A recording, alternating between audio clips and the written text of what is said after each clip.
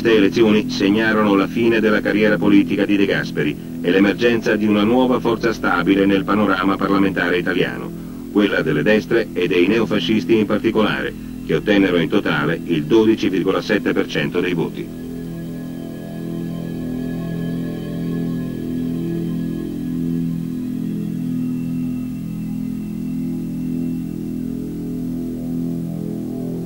La legge truffa non aveva dunque risolto i problemi riguardanti la stabilità governativa. L'anno dopo venne infine abrogata.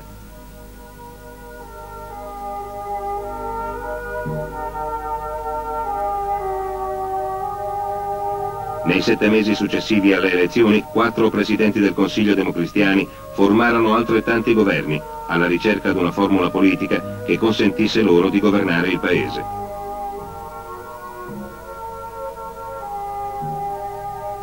Ma la seconda legislatura del dopoguerra, che durò fino al 1958, non avrebbe visto emergere alcuno statista della capacità e della forza di carattere di un De Gasperi o di un Einaudi. I maggiori problemi del paese continuavano a restare irrisolti.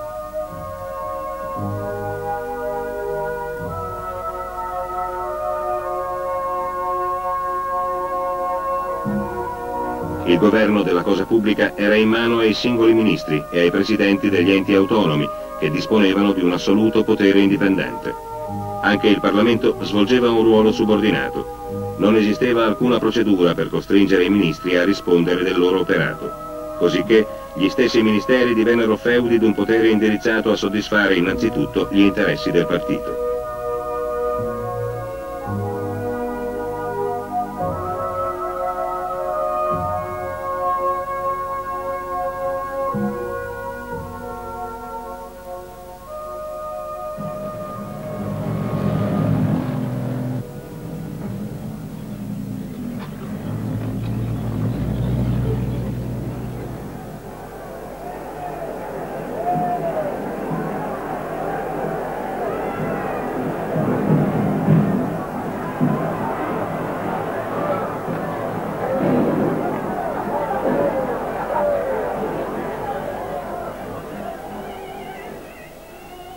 Nel 1956, con l'invasione dell'Ungheria e le denunce di Khrushchev al XX congresso del Partito Comunista dell'Unione Sovietica contro il mito di Stalin, le sinistre italiane subirono dei profondi rivolgimenti.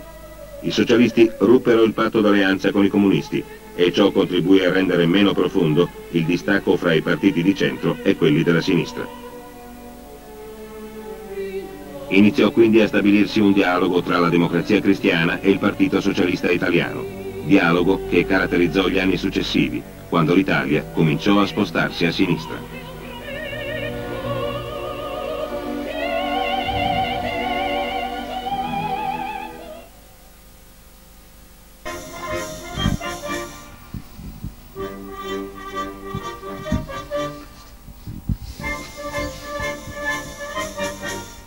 Mai come quest'anno il dibattito sulla festa della liberazione è stato lungamente dibattuto e dai commenti controversi. Chi ci ha seguito ha potuto ripercorrere dai filmati del documentario di Giorgio Bocca fatti ed eventi che portarono alla liberazione d'Italia. Fra poco anche il nostro filmato della cerimonia rievocativa tenutasi come ogni anno a Teramo per il 58 anniversario al motto voluto dagli organizzatori che oggi deve essere ancora forte l'impegno a non rendere vano il sacrificio, spesso estremo, dei tanti che hanno creduto nei valori della democrazia, della libertà e della pace. Ma nel nostro piccolo vogliamo permetterci un inciso, una riflessione, almeno rifacendoci all'appello dei presidenti di Camera e Senato, Casini e Pera, perché questa giornata sia la festa di tutti, perché condividiamo, i morti non hanno casacche politiche, specie di questi tempi in cui gli orrori e le morti di una guerra che abbiamo vissuto in televisione sono ancora impressi nei nostri occhi. Queste immagini che vedete si riferiscono ad un evento celebrato proprio a Teramo, dove una strada ricorda anche le foibe. Sono le testimonianze di sempre ingiusti, torti e deprecabili morti delle fobie di una guerra. Se è vero che parte del centro-destra, a 60 anni di distanza, ma sopporta questo giorno se hanno suscitato risentimenti e discussione le parole contro le sinistre del Premier Berlusconi mentre il capo dello Stato quest'oggi e per la prima volta ha celebrato la festa della liberazione nel cortile d'onore del Quirinale, Possiamo interpretare la riflessione della maggioranza di noi che si augura prevalga oramai il buonsenso perché questo 25 aprile possa per davvero un giorno diventare una festa di pacificazione, una festa in grado di mettere sullo stesso piano i fascisti che si schierarono con i nazisti e i partigiani che combatterono la dittatura con le armi. Ci piacerebbe poter insomma dimenticare una pagina di sangue brutta della storia d'Italia, mai il sacrificio di quanti persero la vita certamente, per poter veramente cullare quella speranza di un futuro migliore di pace e libertà.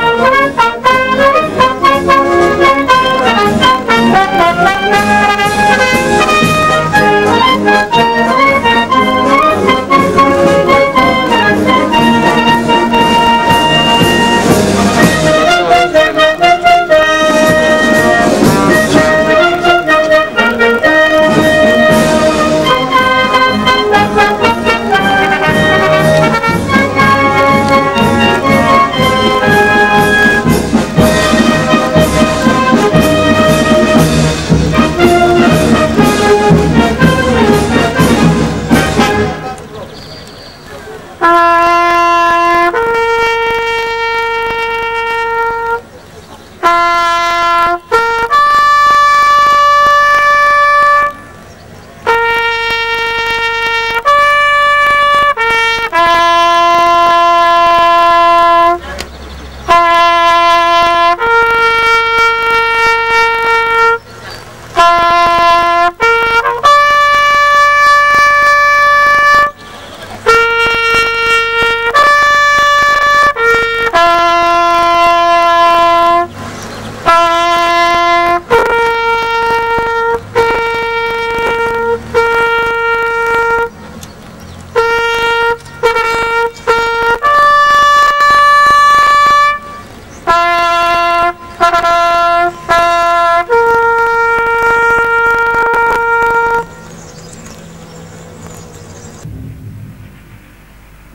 Nonostante la tenace resistenza delle truppe italo-tedesche, le preponderanti forze inglesi riuscirono a travolgere l'Africa Corps e il contingente italiano, costringendoli a ritirarsi in Tunisia.